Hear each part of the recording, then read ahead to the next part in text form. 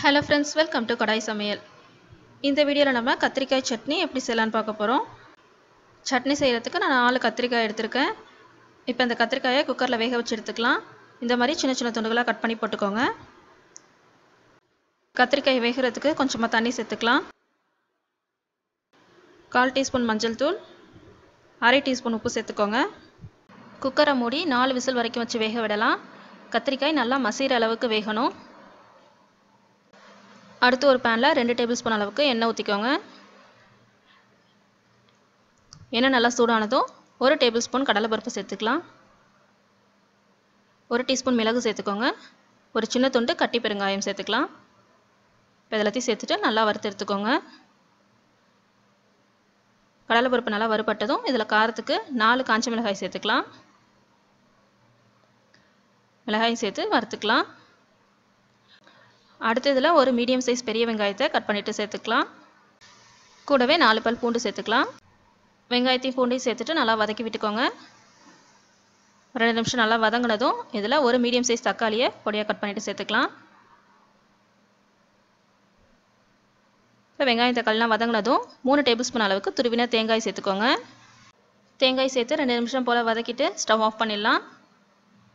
இப்போ லேசாக ஆற விட்டு மிக்சி ஜாடியில் எடுத்துக்கோங்க. கொஞ்சமாக தண்ணி சேர்த்து குறை குறைப்பாக இதை அரைச்சி எடுத்துக்கலாம். இப்போ குக்கர் ஓப்பன் பண்ணிக்கலாம். கத்திரிக்காய் நல்லா வெந்துருச்சு. இப்போ அந்த கத்திரிக்காயிலேருந்து தண்ணியை வடித்து எடுத்துகிட்டு நல்லா மசிச்சு விட்டுக்கலாம். தண்ணியோட சேர்த்து மசிச்சோம்னா கத்திரிக்காய் ஈஸியாக மசியாது.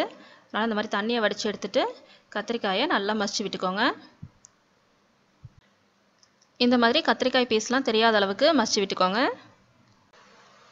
அடுப்பில் பேன் வச்சு இதில் மூணு டேபிள் ஸ்பூன் அளவுக்கு எண்ணெய் ஊற்றிக்கோங்க எண்ணெய் நல்லா சூடானதும் ஒரு டீஸ்பூன் கடுகு போட்டுக்கலாம்.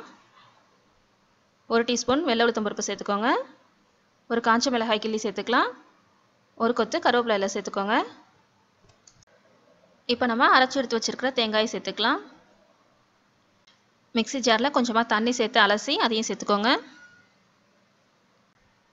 எல்லாத்தையும் நல்லா கலந்து விட்டுக்கோங்க. கலந்து விட்டு இதை மூடி வச்சு ஒரு அஞ்சு நிமிஷம் போல் கொதிக்க விடலாம். இடையில அப்பப்போ ஓப்பன் பண்ணி கலந்து விட்டு கொதிக்க விடுங்க. அப்போ தான் அடியில் பிடிக்காமல் இருக்கும். நல்லா கொதிச்சு வந்துருச்சு. நம்ம அதை இப்போ ஓப்பன் பண்ணிவிட்டு ஒரு தடவை நல்லா கலந்து விட்டுக்கலாம். அடுத்து நம்ம இதில் மசிச்சு எடுத்து வச்சுருக்கிற கத்திரிக்காயை சேர்த்துக்கலாம். கத்திரிக்காய் வெந்த தண்ணி எடுத்து வச்சுருந்தோம்ல அதையும் ஊற்றி அலசி சேர்த்துக்கோங்க. எல்லாத்தையும் நல்லா கலந்து விட்டுடலாம். கத்திரிக்காய் வேகும்போது கொஞ்சமாக உப்பு சேர்த்துருந்தோம். இப்போ இந்த சட்னிக்கு தேவையான அளவுக்கு உப்பு சேர்த்துக்கோங்க. எல்லாத்தையும் நல்லா கலந்து விட்டுக்கோங்க.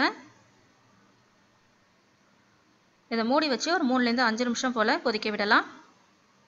கத்திரிக்காய் சாப்பிடாதவங்களுக்குலாம் நம்ம இந்த மாதிரி சட்னியாக செஞ்சு கொடுக்கலாம். இதில் நம்ம கத்திரிக்காய் சேர்த்துருக்கோங்கிறதே தெரியாது. சட்னியோட டேஸ்ட் பார்த்திங்கன்னா ரொம்பவே நல்லாயிருக்கும் கத்திரிக்காய் பிடிக்காதவங்க கூட ரெண்டு இட்லி கூட சேர்த்து சாப்பிடுவாங்க. இப்போ பாருங்கள் நல்லா கொதிச்சு வந்துடுச்சு ஒரு தடவை நல்லா கலந்து விட்டுட்டு நம்ம ஸ்டவ் ஆஃப் பண்ணிடலாம்.